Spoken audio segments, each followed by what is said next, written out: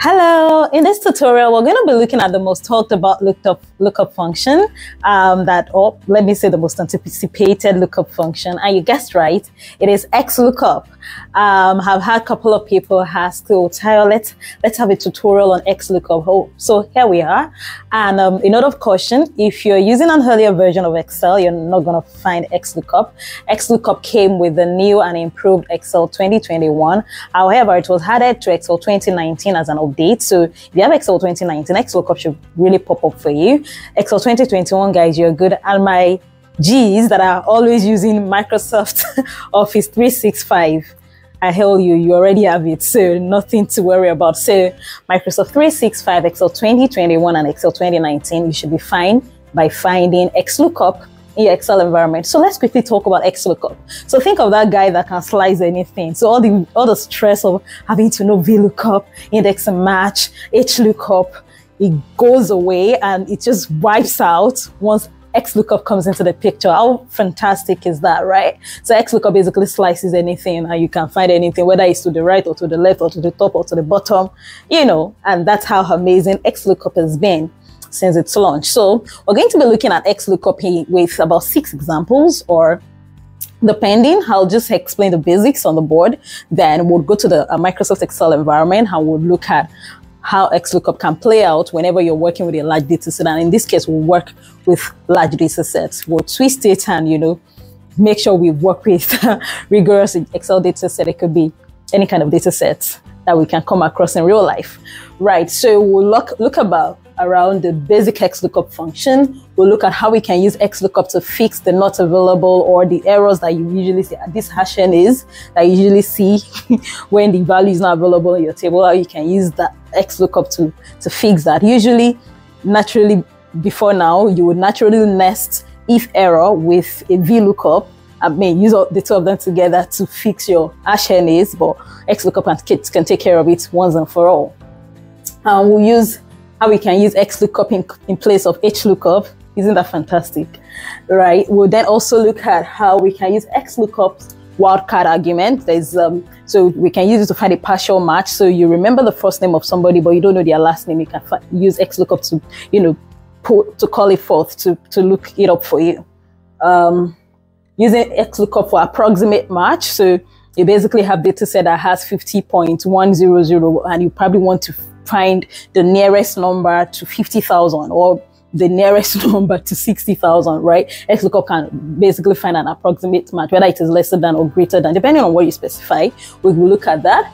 Um, using XLOOKUP for a two-way lookup, and this is very very, um, this is where a little bit of automation comes in. The two-way lookup is my favorite, my favorite um, in XLOOKUP. You can basically use it to look at the rows at the same time, be looking at the columns, and we'll also apply data validation concepts in it. And I mean, I'm, I'm glad we've, we've touched data validation before now, so it won't be new to us. If you haven't seen data validation, please jump, jump, jump, jump back to the earlier videos on the channel and watch data validation because you're going to have to also enjoy XLOOKUP, using XLOOKUP for a two-way lookup. So let's quickly look at the arguments in XLOOKUP.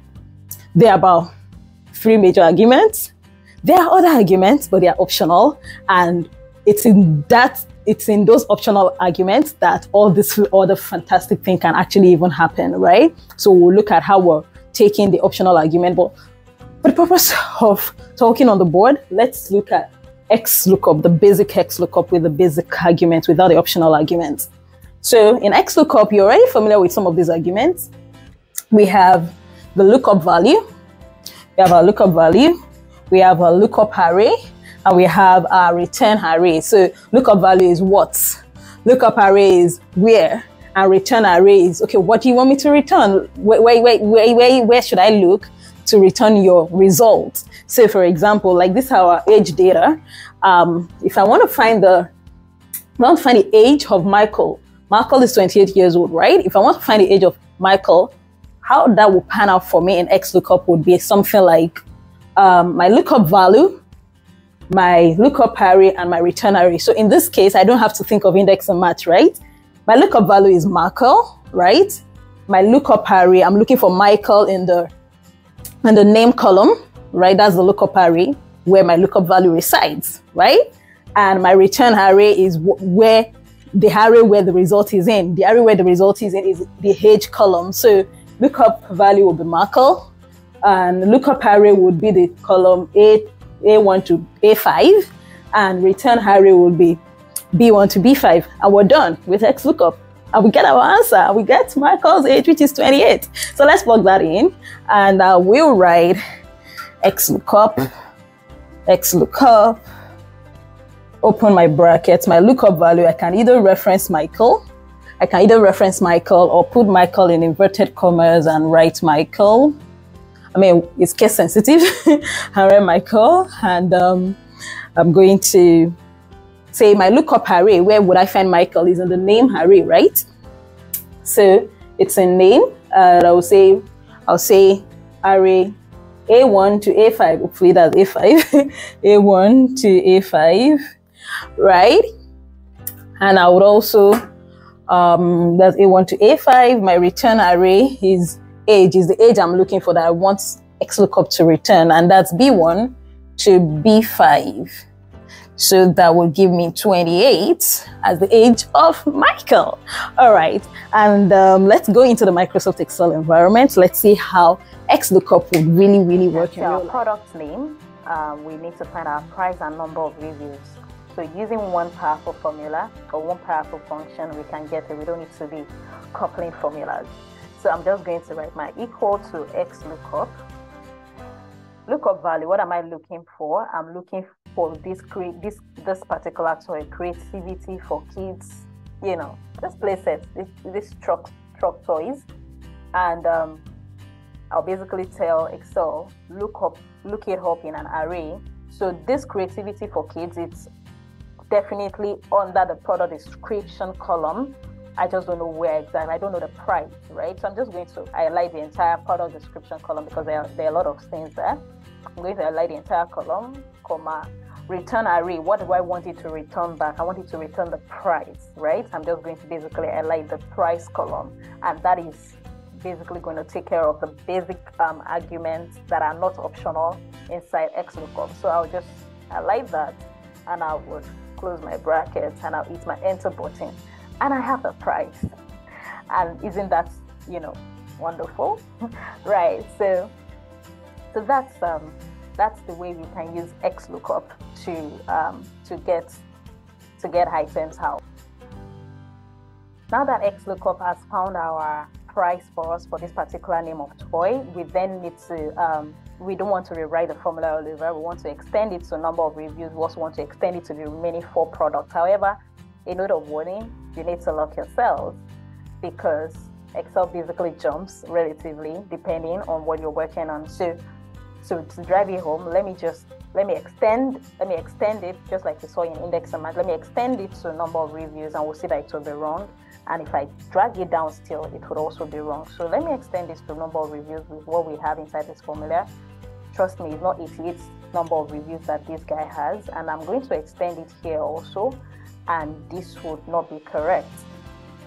In the sense that I mean we could we could take a we could take a quick look we could take a quick look at um, Transformer Studio. So I'll do Control C and um, I want to look for this product name, the price, and the number of reviews. All right.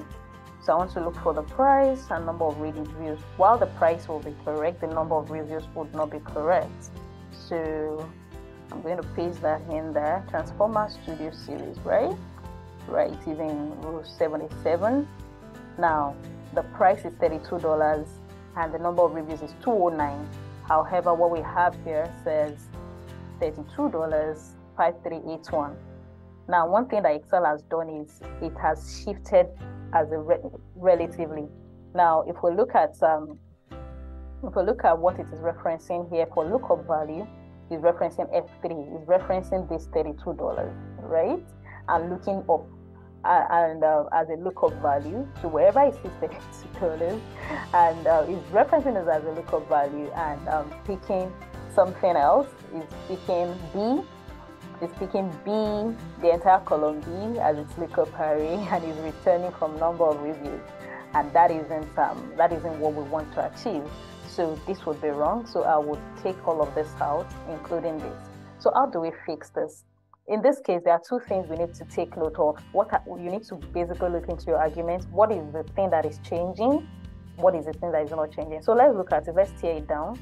So in our E2, our E2 is our lookup value, right? This is our lookup value. Our lookup value is changing, but slightly.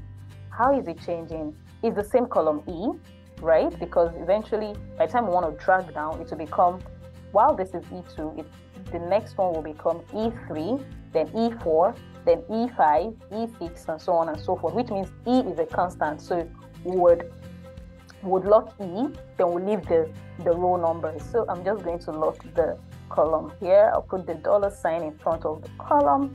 And um, again, the next argument says um, the lookup array. That's our, so our lookup array is still product description column is not changing. We are not moving to the price column. That's our lookup array because our lookup value is a product name, is a product description, right? So our lookup array is not changing, it's still the same lookup array. So I'm going to lock both, I'll, I'll lock everything. so I'll press F4 to lock both. And um, what's the next one? Return array. Return array this time around, we want it to change, right? Because the next thing is number of reviews. I want it to be able to shift. So I'll leave that guy out because I really want it to change. So I'll just I need Excel to shift to the next one. So hit enter button and I can then extend it and uh, I'll change this number, number formatting to, I'll change this back to number. So it's a number and I really don't want um, decimal places there. Uh, right, so now you can safely then drag down. So you basically fulfilled for if, it were, if you were dragging from left to right and if you're dragging from top to bottom. So I can safely drag down now and you're you have faithfully fulfilled X lookup and this would be more correct than what you had what had been done earlier.